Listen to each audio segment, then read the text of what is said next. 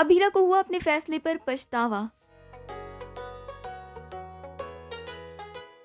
Crush करवाना चाहता है अरमान और अभीरा की बात। स्टार प्लस का शो ये रिश्ता क्या कहलाता है कि आने वाले एपिसोड में हम सभी देखेंगे कि कोर्ट में झूठी गवाही देने के बाद अबीरा को अपने इस फैसले पर बहुत ज़्यादा अफसोस होगा। अबीरा घर वापस आकर फूट फूट कर रोने वाली है, अपने इस फैसले के बारे में बार बार सोचने वाली है। लेकिन इसके बाद अबीरा ये सोचती है कि अरमान उसे प्यार करता ही नहीं है। तो ऐसे में अगर उसने झूठ कहा है और उस झूठ की वजह से माँ और पापा एक हो सकते हैं तो इस झूठ में कोई गलती नहीं है। लेकिन फिर भी अबीरा रो रही है क्योंकि वो अरमान से प्यार करती है।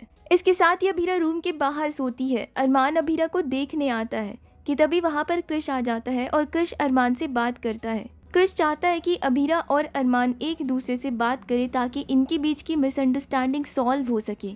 जब क्रिश अरमान से बात कर रहा होता, उस दौरान अभीरा सो रही होती है कि तभी अभीरा का फ़ोन रिंग होता है और इस रिंग की वजह से अभीरा उठ जाती है।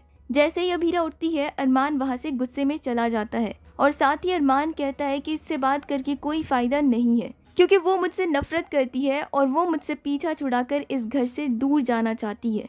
अभीरा और अरमान दोनों को लगता है कि वो दोनों एक दूसरे से नफरत करते हैं।